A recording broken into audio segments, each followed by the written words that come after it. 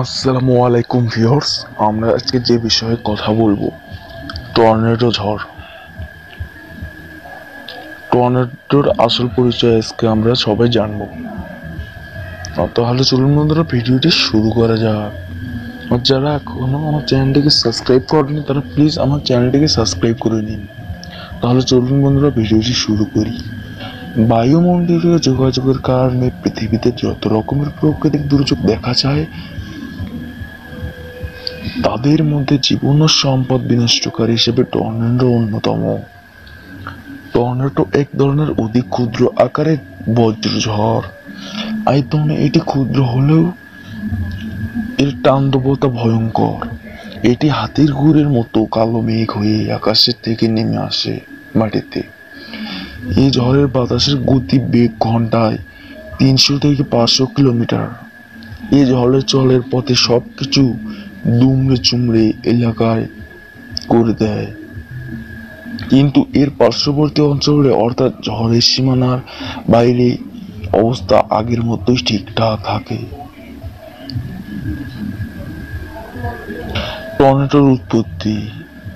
টর্নেডোর উৎপত্তি সম্পর্কে সুমিষ্ট কোনো তথ্য না থাকলেও ধারণা করা হয় যে উত্তর গোলার্ধে কোনো স্থানীয় স্তর নিম্নচাপের ফলে দক্ষিণ পূর্ব অংশে সাধারণত টর্নেডোর উৎপত্তি হয় এবং শীতল বায়ু প্রচুর সাথে সমান্তরভাবে দক্ষিণ পশ্চিম দিক থেকে উত্তর পূর্বের দিকে প্রবাহিত হয়।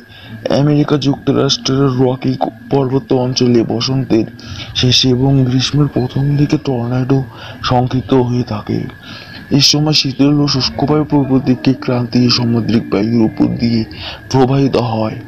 আমেরিকা যুক্তরাষ্ট্র কানাসাস রাজ্য নিয়মিত টর্নেডোর প্রকল্পে দেখা যায়। টর্নেডোর বৈশিষ্ট্য, টর্নেডোর আকৃতি অনেকটা চোখের মতো। ভূপৃষ্ঠের উপরে প্রায় একশো থেকে পাঁচশো মিটার পর্যন্ত হতে পারে। স্বল্প পরিসর জায়গায় বায়ুচাপের পার্থক্য অত্যধিক বলেই এর তাণ্ডবত্ব ভয়ঙ্কর হয়। ঝড়পুঞ্জ মেঘের তলদেশ থেকে চঙ্গের মতো মেঘ মাটির দিকে নামতে থাকে। এই চঙ্গ সেখানে ভূমি স্পর্শ করে, সেখান সেখানে ঘন কালো মেঘ চারদিকে অন্ধকার হয়ে যায় এবং নিকট শব্দে সবকিছু ধূলিসাৎ হয়ে যায়। বাংলাদেশের সাধারণত চৈত্র বৈশাখ মাসে টর্নেডোর তাণ্ডবতা লক্ষ্য করা যায়। ভিডিওটি যদি ভালো লাগে তাহলে একটি লাইক করুন, বন্ধুদের শেয়ার করুন এবং কমেন্ট করে জানান ভিডিওটি কেমন হয়েছে এবং প্লিজ বন্ধুরা আমার চ্যানেলটিকে সাবস্ক্রাইব করে নিন।